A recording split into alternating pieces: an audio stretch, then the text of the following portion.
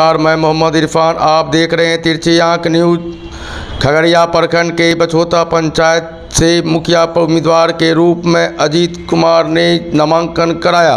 नामांकन के बाद मीडिया से चुनावी मुद्दे खास चर्चा। क्या शुभ नाम हुआ आपका? अजीत कुमार। किस पंचायत से किस पद के लिए उम्मीदवारी कर पंचायत से मुखिया पद के लिए उम्मीदवार है। पूर्व में आपके पंचायत में कितना काम हो गया जो मजबूरन आपको सेवा करने के लिए इस फ़ील्ड में उतरना पड़ रहा है? जनता बहुत व्याकुल था। हम्म किस चीज़ का व्याकुल था? कौम कार्य कार्यकलाप से? जो। मुखिया था पहले। और उसी के प्रतिशोध हमको खड़ा करना पड़ा जनता की सेवा करने के लिए। हम्म। जनता हमको सेवा करने का मौका दे और जनता की सेवा हम करें। इस पूर्व में कार्यकाल में क्या आपके पंचायत में विकास नहीं हुआ क्या? नहीं विकास नहीं हुआ।